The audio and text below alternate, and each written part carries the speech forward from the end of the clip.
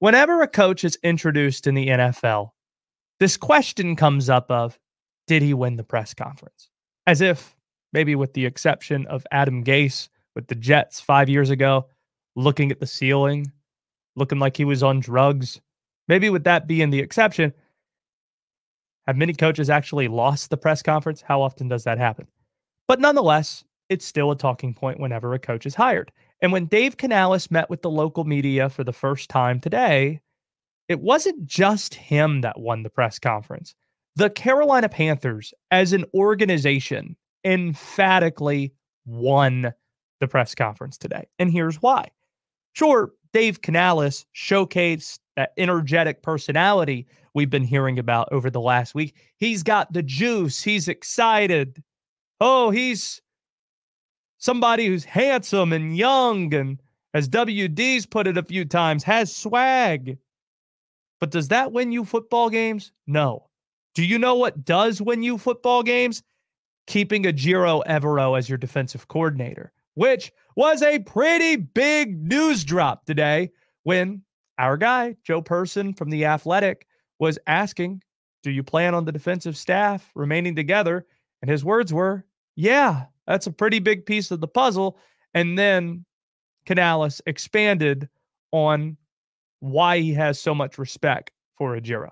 I just know it was really difficult on me for years, uh, whether it was in Seattle going against the Rams in that family, um, or this year just going against EJ twice. So, and this is this is really important for me, um, especially as a as a first time head coach who's like I'm here to make sure we get our football right, especially on the offensive side, that we have that continuity um, with the players, with with EJ. You know, just being able to have the mentality that I saw that was really challenging to play against. It's a pretty big feather in your cap when you get to sit down and talk about your vision for what the organization's going to be and winning on the field. Then you get to say, and then everybody gets the news from you. Oh yeah, the guy who had a top five defense this past year and interviewed for head coaching jobs, he's going to be on my staff and remain as the defensive coordinator. At that moment, from a football standpoint, Dave Canales won the press conference. And then you had some icing on it. The cake was there. This was the icing on the cake.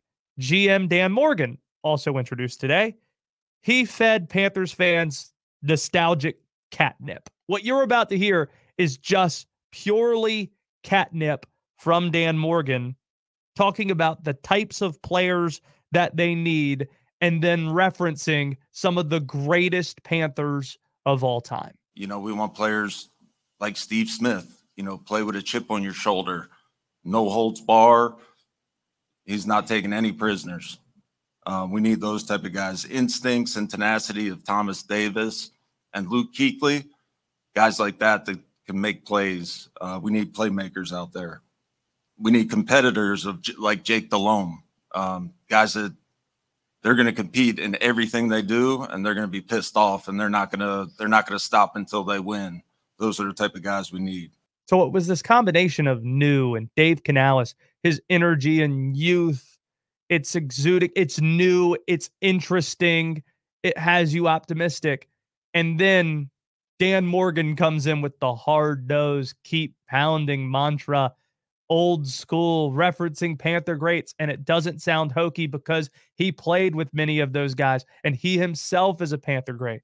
It's okay to admit, as a Panther fan, it's pretty freaking cool to see one of your great players in charge of personnel now as your general manager.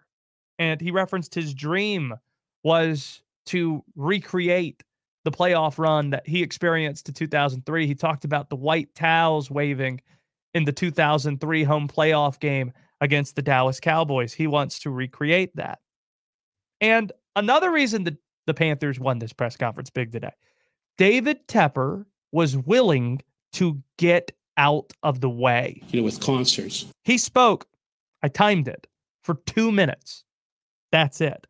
He was approached by reporters, just like he was last year when he met with reporters after the hire of Frank, Frank Reich for about 15, 20 minutes. And instead, according to the reporters in the room, he said, I'm not talking today. I'm in the background now. That's his quote. I'm in the background now. Let's hope that's true. The buzzword at the presser all day today was alignment. Coach is aligned with the GM. That clearly was not the case this past football season. Aligned with ownership. David Tepper seems to have gotten the message. Time for me to get out of the way. Let's see if he can resist the urge to meddle when football season gets nearer. But the Panthers, they won the press conference today. Not just Dave Canales, the organization did.